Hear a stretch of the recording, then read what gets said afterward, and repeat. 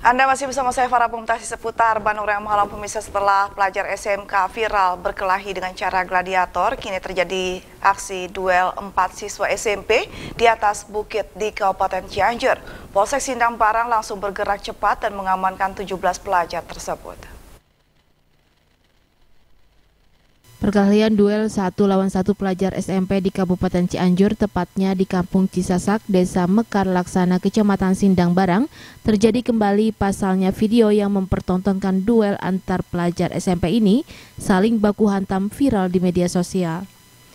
Sebelumnya ini terjadi melalui chattingan di medsos sehingga mereka saling menantang dan akhirnya mereka melakukan duel di dekat pantai di Kampung Cisasak, Desa Mekar Laksana, Kecamatan Sindang Barang dan kejadian itu direkam dan diposting di media sosial hingga viral.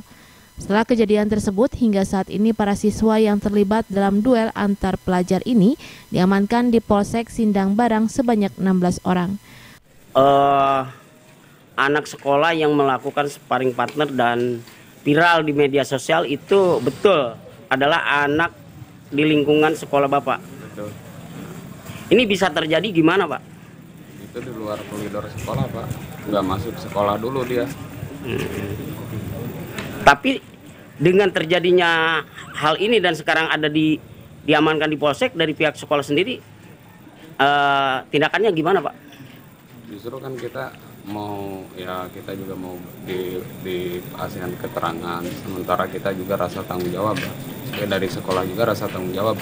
Maka kita juga muncul di di Kapolsek ini saya juga rasa tanggung jawab.